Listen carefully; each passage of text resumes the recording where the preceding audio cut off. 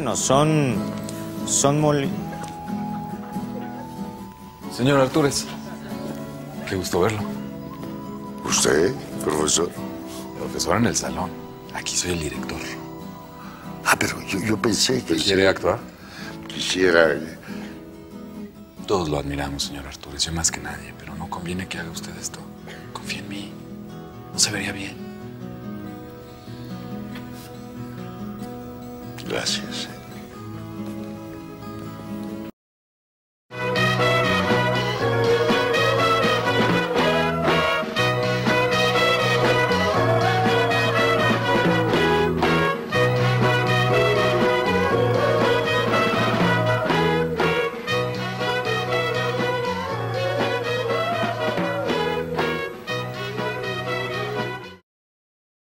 Usted sí sabe quién es ella, ¿verdad? Por supuesto. Una, una antigua alumna del colegio. Andrea Ferrán. Pero está muerta. Sí. ¿Cómo lo sabes? Porque es la misma que yo soñé ahorcada. En la torre. Tonterías. No quiero hablar más de esto. Tienen diez minutos para entrar a clase. la escuela de don Cipriano.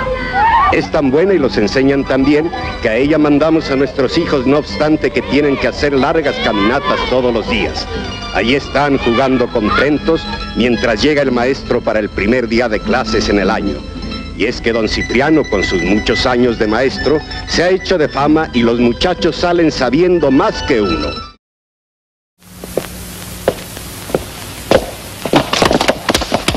Momento, quietos, quietos. ¿Qué es lo que trae? ¿Por qué le pegaste?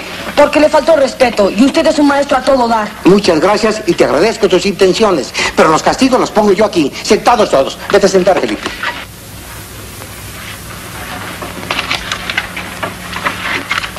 Y no quiero que se vuelva a repetir esto. La escuela deben saberla respetar y cuidar, como si fuera su casa.